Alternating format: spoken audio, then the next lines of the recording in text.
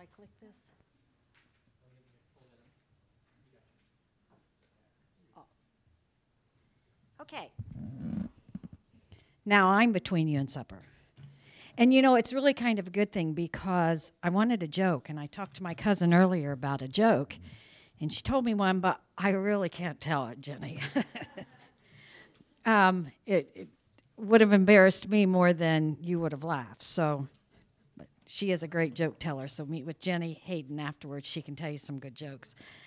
As David said, my name's Jackie Clements. Uh, I am a former county recorder. Uh, a few years ago, that was my first elected office in Tipton County, and then I served as the auditor in Tipton County. And then I moved back home to Clinton County and served as the auditor there, uh, and served one term in the state house. And let me tell you, county courthouse is a lot greater place to be in than the state house. I enjoyed it a whole lot more. What I'm here to talk about today is budgets. And can I ask how many county councilmen we had? There were no commissioners. Do we have any county? Oh, quite a few. Okay. Um, this is a great big topic and it can go a long way, and I'm not going to read all of these PowerPoints to you. Um, you can read as well as I can read them to you. But I want to touch on some highlights on county budgets, uh, county financing, and, and different responsibilities in the payment of claims. Um, the, the annual budget is the, is the financial plan for the county, and once a year the county gets together and puts that plan together, and they must stay within a limit, uh, the levy. And it also gives you a detail as the elected official of how much you can spend um, of the county's money each year. Um, as you can see, it defines what the, count, the different roles the, of the budget process. Obviously, the county council is the fiscal body. They set those budgets. They must set those budgets within a levy. And um, they also set the salary ordinance for all uh, county officials and employees. Um, the county auditor is the fiscal officer. The county treasurer is the custodian of the money. She handles all the money in the banks and the investments. The county commissioners are the executive body, and no payment can be made uh, without final authority approval of that county commissioners. There are some um, manuals out on the web page uh, of the different offices. There's a county manual, there's a county auditor's manual, and there's a county treasurer's manual uh, that have different parts of the budget process within those um, that you can go out, and I gave you those web pages. There's some budget terminology. Um, a lot of people get, I'm not going to read them all, but a lot of people get confused between a taxing unit and a tax district. A taxing unit is that body that can set the tax rate, and a taxing district is a combination of those units that sets an overall tax rate for a geographic area. And the levy is the amount of taxes that we are eligible to collect in any given year.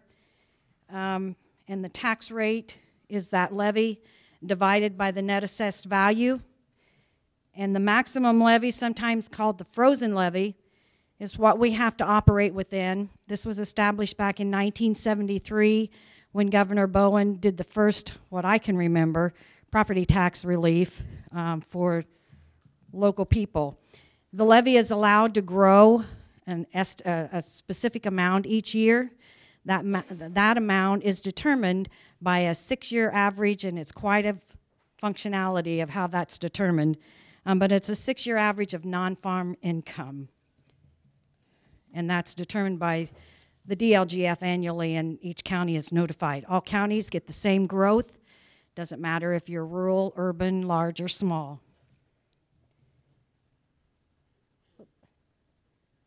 Keep going backwards. We have three different types of funds in the, in the budget process. There's a levy controlled fund. Those funds take that levy and divide the, the dollars you need by that levy to set a rate. We have a rate controlled fund, and those are usually your CUME funds like CUME Bridge, CCD, CUME Courthouse. Those funds have a rate that's established by the council, and then that rate is divided into the assessed value or multiplied by the assessed value uh, to determine the levy. The final is a debt service fund, and those funds are protected now. And they are funds that meet, they are determined by the amount of principal and interest that is required to pay that debt every year. Property tax caps are kind of a new thing uh, for a lot of people still, and that's that circuit breaker, and it's based on what type of property you have, whether you have 1, 2, or 3%. They're defined there. And a property tax credit or circuit breaker credit is the dollar is the difference between that uh, property tax cap and what the actual taxes calculated by the assessed value times the tax rate um, turn out to be. The appropriation is the amount of money that's set by the county council for any one line item or category. And there are different classifications of categories. The 1000 series, and now I think it's 10,000 um, because of computers and their um, new softwares and their, their numbering system. The 10,000 series is personal services. The 20,000 series is supplies. 30,000 is other services and charges. And 40,000 is the capital purchases. Um, most of you will, will deal with the first three. Uh, very few of you will deal with a lot of capital purchases. That's the vast majority of that is done um, by the Board of Commissioners. Um, the current budget year, there's a lot of talk between the, it's all, usually the auditor's office is working in two different years on the budget process. They're working in the current year, which is the year that you're spending, and they're working in the ensuing year, which is the year that you're now putting the budget process together to be collected or to be used for the next year. These are forms that are used in the budget process. And some of them, um, all of you will use, and some of them, none of you, will, or only councilmen will use, and auditors. Um, the Budget One form is one that all of you will use. And as a department head, each year um, you will be asked to estimate what you feel you're going to need to operate your office for the ensuing year. So all of you will be filling out the Budget One form. Several of you, and it depends on the county that you're in, will fill out the budget form two. And this is the estimate of revenues. And for those of you who collect revenues in your office that go into county general, clerks and recorders both, you will determine or you, you may be asked to figure out about what you think you're going to be bringing into the general fund. Some auditors do it themselves. Some auditors ask that each department head or each elected official do their own. Um, the notice, the budget form three is a notice to taxpayers, and that's the advertisement that is done so that taxpayers know when the public hearing is, when the adoption hearing is, the location of those uh, meetings. Um, the budget 4A and 4B are handled by the auditor's office, and that's how the rates are calculated. A 1782 notice you'll often hear about is a notice that's starting to come out this, right now. The first uh, 10 counties, I think, have gotten theirs. And this is the notice that shows the final action um, done by the DLGF on, your, on the county's budget. The budget certification is then the next step after that. It's the, it's the final definition of what can be spent and what the tax rates will be in a given year. The final form that everyone is may be involved with is the 100R. And this is an annual personnel report that's done by the auditor's office, but she may ask you if you're going to be using part-time people in the ensuing year. Um, and then it will show everybody's salary from the previous year, uh, including full and part-time people. This really, it keeps falling down.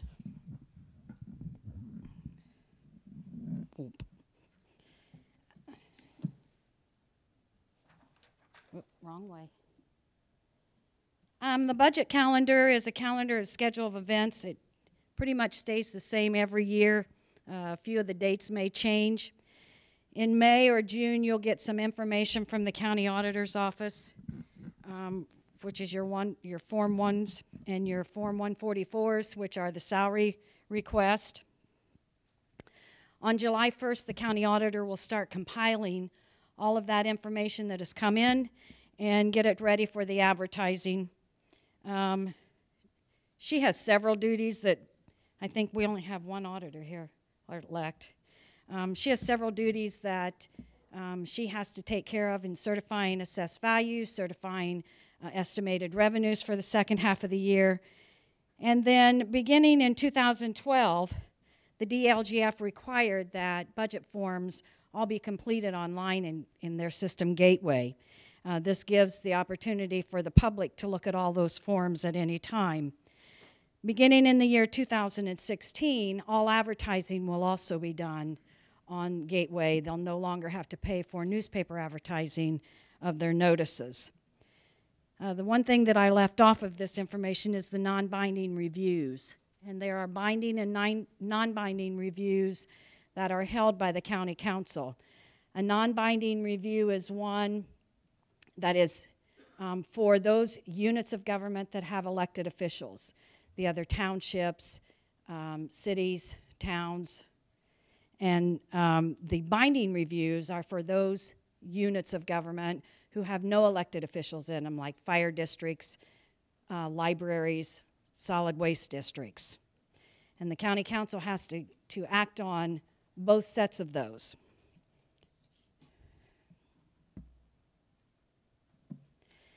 Types of revenue coming into the county, you'll hear often um, as you're working with the auditor or the, or the council that you might be a CAGIT County or a COIT County. And these are the adjusted gross incomes. Um, the CAGIT was the first one that was established back uh, when we had when property tax relief was established in the 70s, and it was help. It was revenue that was to help um, give relief for those property taxes, and it's the, we no longer have property tax relief per se, um, but there is CAGIT money that goes to, to help with the levy. Um, these monies can be spent um, on just about anything that property tax dollars can be spent on. And the, those monies all come into the county auditor, and she distributes them out to all of the local units of government. The additional CAGIT that was just passed just a few years ago was for property tax levy freezes, property tax relief, um, public safety, you'll hear about public safety LOIT. That's a CAGIT tax. And then there's one for correctional facilities where if you have a federal court order or several, there's a couple of criterias that allow for that, um, will allow you to add a, an income tax to take care of your jail and the operation and bonding of your jail. The other income tax is COIT. Um, it came along later uh, in the in the creation of taxes. Um, it again can be paid, used to pay for government expenses, uh, to provide homestead credit relief, and to fund operations of communication systems and public transit. The county auditor also distributes this money. It comes in from the state to the county auditor's office, and then it, she distributes it out to the local units. Uh, schools do not get COIT money. Additional COITs can be used the same as the uh, for property tax freeze, property tax relief, uh, public safety, and the correctional facilities. CEDIT or edit taxes are those that are um, create or that are uh, adopted for usually they originally were done for economic growth. They now too have a wider base that they can be spent for. Uh, they can be spent for any lawful purpose that the other tax revenues can be spent. But you'll usually hear the, the edit monies are being spent for economic growth and development, roads, uh, sewers, uh, those type of infrastructures. A county who is a CAGIT County cannot be, cannot be a COIT County. You can only be one or the other. Um, and you, can, but any, both of those can have the edit funds. So you can be a CAGIT and CEDIT County, or you can be a COIT and CEDIT County. Financial institution tax is another source of revenue. It's one that's paid by the Department of Revenue for those units that have um, a bank or a financial institution in them. It too is sent to the auditor and she distributes it.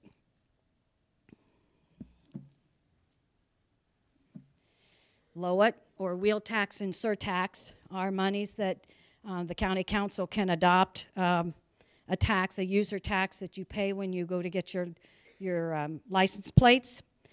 And those, can, those taxes can be spent only to reconstruct, repair, and maintain roads and streets. They cannot be spent on salaries. MVH funds are those funds that come from um, the gasoline taxes. Um, they are placed in the highway fund and can be used for salaries, equipment, or maintenance. Local road and street monies also come from the excise taxes, and these are both of these are received monthly, and they can be the local road and street money can only be spent for local roads and streets. It cannot be spent for equipment, and it cannot be spent for salaries or benefits. Excise tax is a tax that you pay when you get your um, license plates. That money too comes into the county auditor's office, and it's distributed in June and December out to the un units of government based on their tax levy and the total collection. Then the final revenues that come into a county are those revenues of building permits, health fees, recorder's fees, clerk's fees. And these are pretty much the revenue streams that come into local government.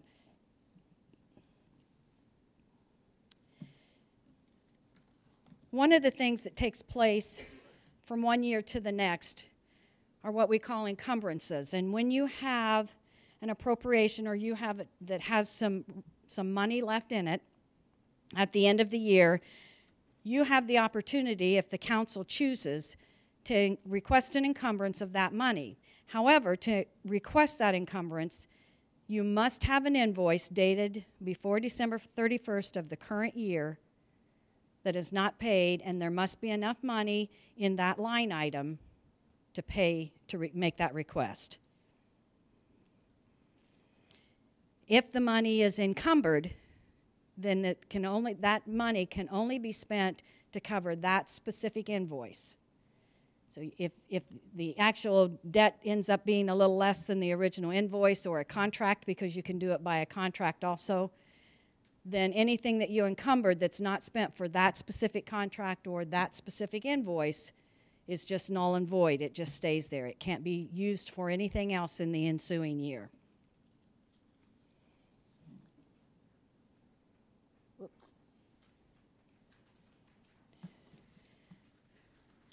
The appropriations, like I said earlier, are set by the county council. And there are a list of exceptions um, for those funds that can be paid without appropriation in that auditor's manual on page 814. I believe it's still 814. I don't think they've updated that this year. Um, there are a few. Title 4D incentive money does not need to be appropriated. Um, uh, reimbursements of insurances does not need to be appropriated. And there is a list of, of those in that uh, manual, or the auditor could get you that list but almost every fund that's tax dollars of the county, whether it's a grant, um, whether it's tax dollar revenue, or fees that you've brought in, all must be appropriated by the county council. There are reports um, that you can ask your county auditor for throughout the year that'll tell you where you are in each of these different appropriations. I mean, a lot of you will keep your own little ledger book but you might, I'll, encourage you to periodically ask for a report from your county auditor to make sure that a mistake hasn't been made, something hasn't been brought out of your appropriation that shouldn't be, or what you have brought out is what you expect to come out is out. And um, I've listed two of the, of the software systems, and I now have the name of the, or the report of the third one um, guts, for those of you who have, whose counties have guts, there's a department budgetary report that you can ask the, the auditor for at any point in time through the year. She should be able to run it. And you can kind of watch and make sure your appropriations are staying and that you're not going to overspend. One thing I'll tell you that's kind of use, was kind of useful to me when you get that budgetary report, all of them have a percentage um, down the right side of the report that tells you what percentage of the money you've either spent or what percentage you have left. And if you look at the payroll, at the salary classifications, that will tell you just where you are in the year, whether you're 42% through the year or 65% through the year. So you can kind of guesstimate if you've overspent someplace on and know to, to maybe slide back. You can watch your, if you pay your telephone out of your budget. Everything should be in comparison to that payroll because it's a regular biweekly or bi-monthly um, payment coming out. So you can judge where you are in your budget by those payroll percentages.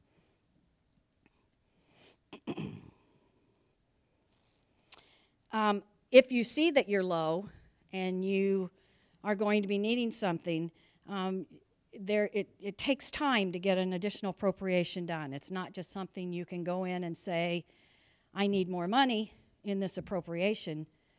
If you want an additional appropriation, there is a time limit because they, it must be advertised uh, for the public to know you're requesting it. And so you need to work with your county auditor and make sure that you're staying in advance if you have a large claim that's going to come out. You also have the ability when you see one appropriation going low and you you have something left in another to request a transfer. And a transfer of those appropriations, if it's within one category, say you have paper and you have um, pens, if it stays within that category, 2,000, 3,000, 4,000, you can re request, re request the transfer without council action. However, if you're wanting to move it from your supplies category to your personal services category, you must ask the approval of the county council. So you need to kind of stay ahead of that each month to make sure that you're where you need to be and you're not caught off guard when you have a, a bill that needs to be done.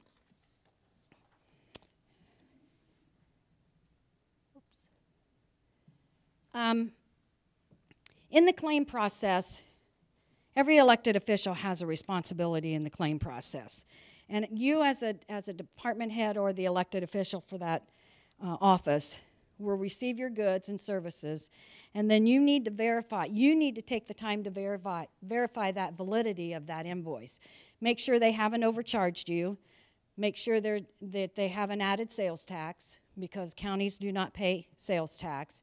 Make sure that what they've charged you for, you did in fact receive, and then sum up that invoice to make sure that it's correct. You also then, at that point in time, need to file or complete a claim voucher, a warrant voucher. And on that warrant voucher, you're going to put who you want it paid to, and you can either list the detail, depending on your county, you can either list the detail or you can say, see copy of invoice. Counties do it separately, so you need to check with your auditor's office to see what's acceptable in your county. You, all, you, you need to sign and date it as the elected official. There are two places for a signature. One is to say, yes, I did receive these goods and they, this invoice is accurate. The other one then is signed by the county auditor where she audits it and makes sure that it's um, all falls within the guidelines.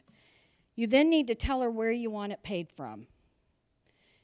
It's really not the auditor's office's responsibility to decide where something should be paid from. That's yours because you know what you're going to be spending throughout the year and they don't. So you need to make sure that you put that appropriation number on the front of that claim voucher so they know where to spend to, to take that payment from.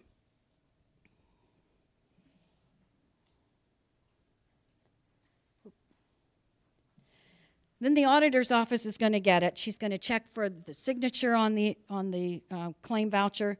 She's going to again review the invoice. She can't tell if everything was there, or she or he, I shouldn't say she. The auditor can't tell if everything has been received, so that's your responsibility. But they'll add it up and make sure that there are no sales taxes on it, no late penalties, um, because counties don't pay late penalties either. Um, they'll recompute it, and then they'll verify, the auditor will sign it and verify that it's eligible and that there are monies within that appropriation to pay. They'll then complete a claim docket of all the claims that be, have been requested in a time frame. Some counties pay biweekly, some counties pay claims once a month, So you'll need to check and see what your county does. And then they'll submit them to the commissioners for approval. The county commissioners, then, it's their responsibility to review and make sure that all these claims are legitimate claims. Uh, in a regular scheduled meeting, they will receive a claim docket which lists all of the claims, who they're to be paid to, and how much they're for. They have the right to request to review any of those claims for payment. Uh, they have the right to deny any of those claims for payment. They can deny them totally, or they can deny them um, and to, to, long enough to verify that they are accurate. Um, in order to approve the claims for payment, they must make a motion in the meeting, and then they should be signing a docket. Um, this process is to be done for all funds except the Recorder's Perpetuation Fund. Now, you still will run it through the process, but there are no appropriations in there. The other thing is, is the difference is the court claims must be advertised still. That's the one thing that's still to be advertised by the auditor's office. For those funds that are outside of the, the commissioner's jurisdiction for approval, such as the commissary funds or your clerk's trust funds, um, they'll make no claim to those. However, they have the right to audit them. Commissioners have the right to audit any funds that are handled through the county, whether it be the commissary fund, your trust funds.